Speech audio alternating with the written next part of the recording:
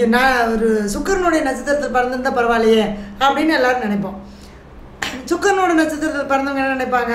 சூரியனோட நட்சத்திரத்தில் பிறந்திருந்தால் பரவாயில்லையே நாங்கள் வந்து நல்லா வாழ்ந்திருப்போமே அப்படின்னு நினைப்பாங்க. அப்படி இல்லை நம்ம ஒவ்வொருத்தரும் அந்த கிரகத்தினுடைய சாபம் கர்மா இருந்தால் மட்டுமே அந்த நட்சத்திரத்தில் நம்ம பிறப்போம். சரிங்களா? அதாவது நம்ம முற்பிறவியில் முடிவு. நம்மளுடைய அந்த என்ன திசை நடக்குதோ அந்த திசையோட முடிவில் இறக்கும்போது மீண்டும் அந்த ஆத்மா பெறப்படுக்கும் போது அந்த திசை வந்து பார்த்திங்க அப்படின்னா அந்த நட்சத்திரத்தில் மீண்டும் அந்த உயிர் ஜனிக்குது அப்படிங்கிறத முன்னோர்கள் சொல்லியிருக்காங்க. நமக்கு தெரியாது நம்ம என்ன இறந்து பார்த்து நம்ம பிறந்து பார்த்து முன்னாடி இறந்ததும் பின்னாடி பிறந்ததும் நமக்கு ஞாபகம் வந்தால் தானே சொல்ல முடியும். சொல்லியிருக்காங்க. அதனால சொல்ல வர அதான் அதாவது நட்சத்திரம் வந்து ஒரு மூணு பாதம் கழித்து நாலாவது பாதத்தில் பிறந்தாங்க அப்படின்னா கர்ப்பத்தில் சென்றது போக நின்றது இருப்பு அப்படின்னு சொல்லி சொல்லுவாங்க இல்லையா? அதுதான் இந்த கணக்கு. இது என்ன அப்படின்னு பார்த்தீங்கன்னா நம்ம நட்சத்திரங்கள். நட்சத்திரங்கள் இருபத்தேழு நட்சத்திரம் இருக்குது நமக்கு அது எல்லாருக்குமே தெரியும். ஒவ்வொரு நட்சத்திரமும் எந்த கிரகத்தினுடைய சாபம் பெற்று வந்திருக்கு? அதுக்கான பரிகார ஸ்தலங்கள் என்ன அப்படிங்கிறதான் நம்ம இந்த பதிவில் பார்க்க போகிறோம் சரிங்களா? இப்போ வந்து நவகிரகம் அப்படிங்கிறத நம்ம என்ன சொல்ல ஒம்பது கிரகங்கள். ஒன்பது கிரகத்தையும் தான் நம்ம நட்சத்திரங்களுக்கு இருபத்தேழு நட்சத்திரமாக பிரிச்சிருக்கு. அதாவது அஸ்வினி மகம் மூலம் அப்படின்னா கேதுகுடைய நட்சத்திரம். அதாவது பரணி பூரம் பூராடம் அப்படின்னா சுக்கரனுடைய நட்சத்திரம். அப்படி நம்ம வந்து ஒன்பது கிரகமும் ஒன் இருபத்தேழு நட்சத்திரங்களாக நமக்கு இருக்குது சரிங்களா? அப்போ இந்த ஒன்பது கிரகம் அப்படிங்கிறது என்ன? அப்படின்னா இந்த ஒன்பது கிரகம் அப்படிங்கிறது தான் ஒன்பது உறவு. ஒன்பது கிரகம் அப்படிங்கிற கிரகங்கள் அப்படிங்கிறது தான் ஒன்பது வகையான நம்மளுடைய உறவுகள். சரிங்களா? இப்போ முதல்ல வந்து நம்ம என்ன சொல்கிறோம் சூரியன். ரெண்டாவது சந்திரன். இது வந்து பேசிக்காக தெரியாதவங்களும் தெரிஞ்சுக்கிறதுக்காக நான் வந்து எழுதுகிறேன் நிறைய பேர்த்துக்கு இதெல்லாம் எங்களுக்கு தெரியுமா? நீங்கள் அடுத்ததுக்கு போங்க அப்படின்னு நினைக்க வேண்டாம்.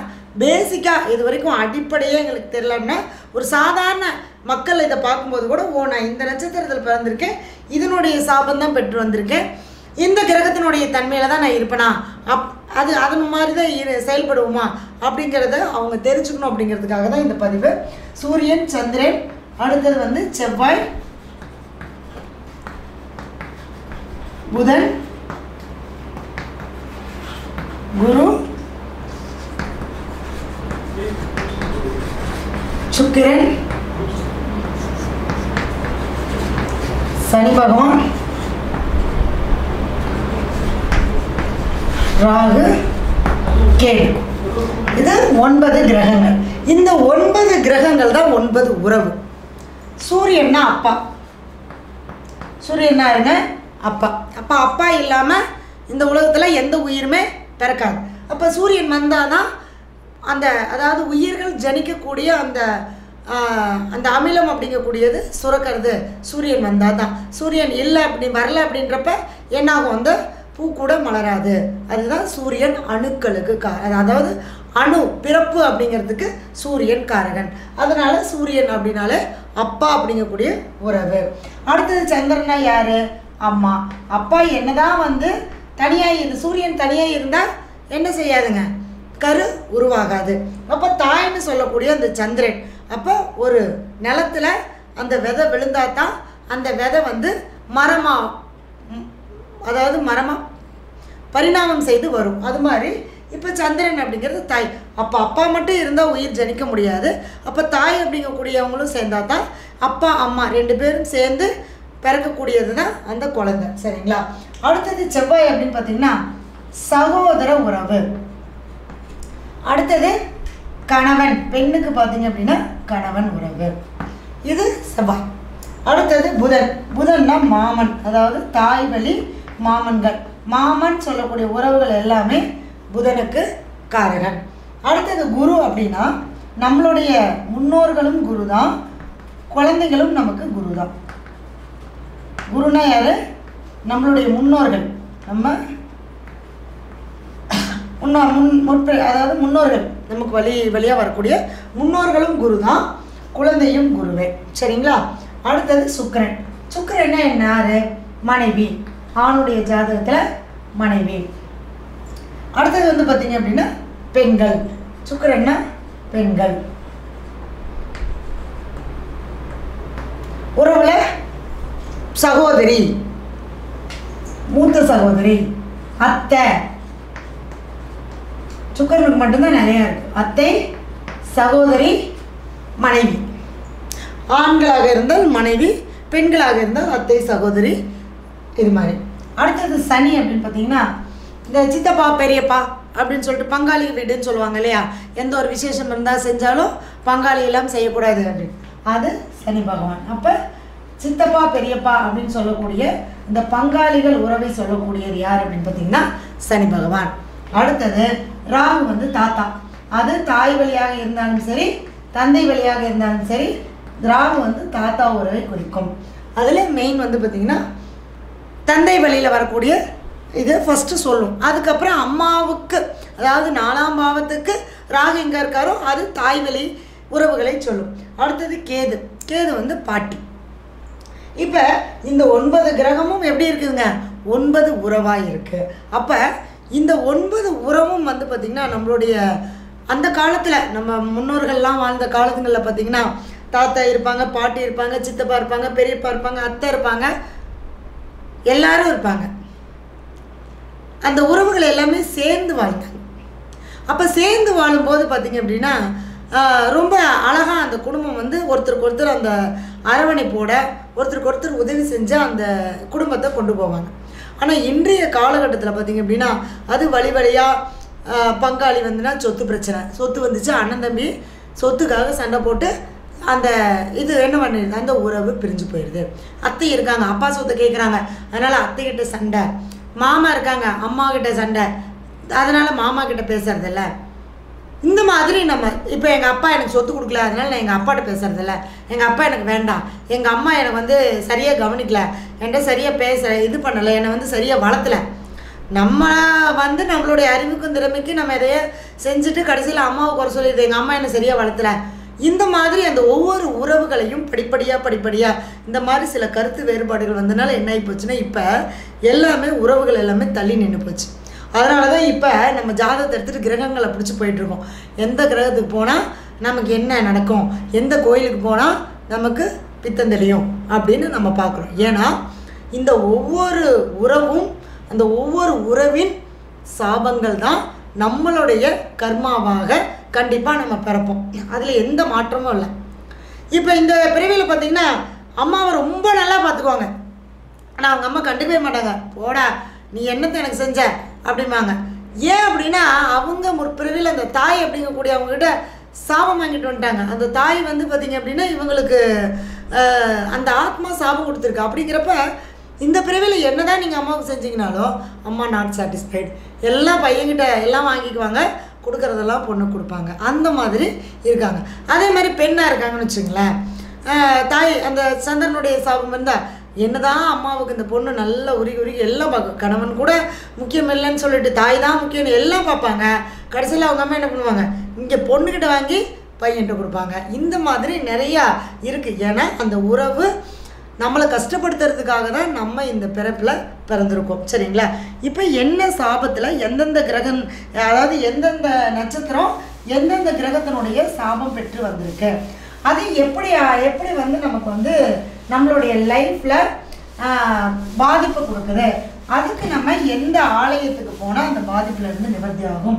ஆலயத்துக்கு மட்டும் போகிறது பார்த்தாது அந்த உறவுக்கான அந்த மரியாதையும் அந்த உறவுக்கான என்ன பண்ணணுங்க?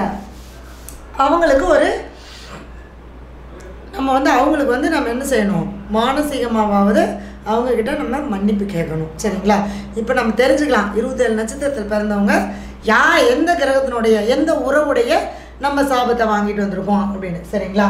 இப்போ வீடியோவை ஃப்ரண்ட்ல இருந்து கொஞ்சம் ஸ்க்ரால் பண்ணி பாருங்க. உங்களுக்கு டீட்டெயிலாக தெரியும். புனர்பூச நட்சத்திரம் அப்படின்னு பார்த்தீங்கன்னா எந்த ராசியில் வரும்? கடக ராசியில் புனர்பூச நட்சத்திரம். கடகத்துலேயும் மிதுனத்துலேயும் வரும். இப்போ மிதுனத்தில் வந்து பார்த்தீங்கன்னா ஒன்று ரெண்டு மூணு நாலு அதாவது மூணு பாதம் இருக்குது கடகத்தில் வந்து நாலாவது பாதம் அப்படின்னு சொல்லக்கூடியது கடகத்தில் விழுகும்.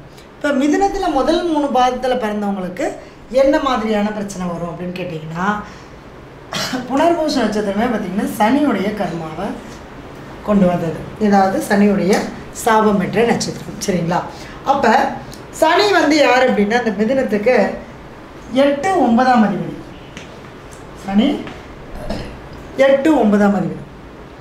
புனர்பூச நட்சத்திரத்துக்கே பொதுவாக பார்த்தீங்கன்னா அது மிதனமாக இருந்தாலும் சரி கடகமாக இருந்தாலும் சரி வாழ்க்கை பாதிக்கும். வாழ்க்கை வாழ்க்கை துணையால் பாதிப்பை கொடுக்கும். ஏன்னா எட்டு அப்படிங்கிறது என்னென்னா ஆய் ஆயில் மட்டும் இல்லை மாங்கல்ய ஸ்தானமும் எட்டு. அப்போ ஒன்று கல்யாணம் லேட் ஆகும். எதுக்கு? இந்த மிதனத்தில் ஒன்று ரெண்டு மூணு நட்சத்திரத்தில் பிறந்தவங்களுக்கு திருமணம் லேட் ஆகும்.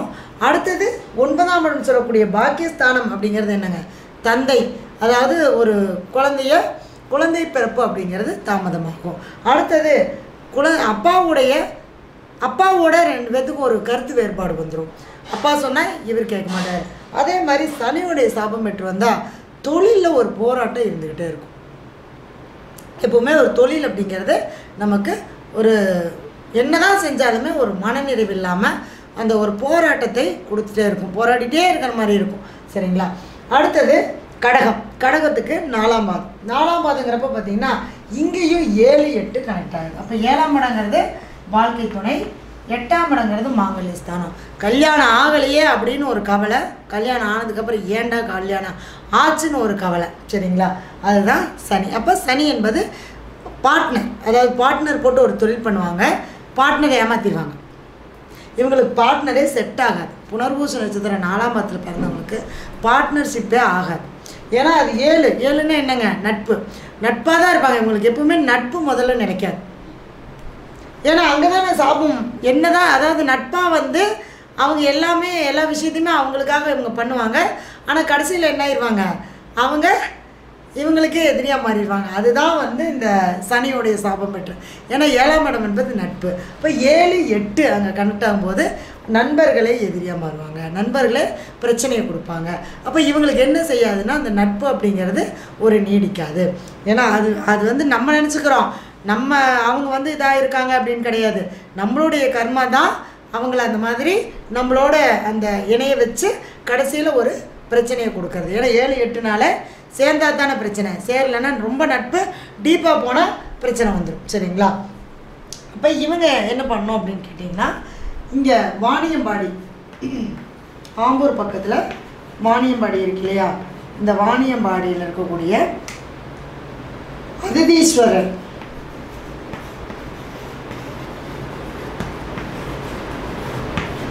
இந்த ஆலயத்துக்கு போயிட்டு உங்களுடைய ஜென்ம நட்சத்திரம் வரக்கூடிய பிறந்த மாதத்தில் வரக்கூடிய ஜென்ம நட்சத்திரத்தில் இந்த கோவிலுக்கு போயிட்டு உங்களுடைய வயசு அத்தனையும் அத்தனை தீபம் ஏற்றி வச்சு வழிபாடு பண்ணிவிட்டு முடிஞ்ச வரைக்கும் அன்னதானம் பண்ணுங்கள் அன்னதானம் மட்டும் இல்லை தண்ணீரும் தானம் பண்ணுங்கள் சரிங்களா? அதுக்கப்புறம் சனி பகவானுடைய கோயிலான திருநள்ளாறு போகலாம் அல்லது குச்சனூர் போகலாம். சரிங்களா?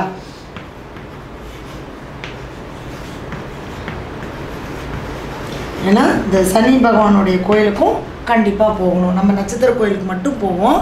ஆனால் அந்த கிரகத்துக்கு உண்டான கோவிலுக்கு நம்ம போக மாட்டோம். அதே மாதிரி இந்த கிரகத்துக்கு உண்டான கோயிலுக்கு போனாலும் அந்த கிரகத்துக்கு உண்டான இதை என்ன பண்ணுங்க? நம்ம சரியாக பார்த்துக்கணும். ஃப்ரெண்டுனா ஃப்ரெண்டாக நல்லபடியாகவே வச்சுக்கணும்.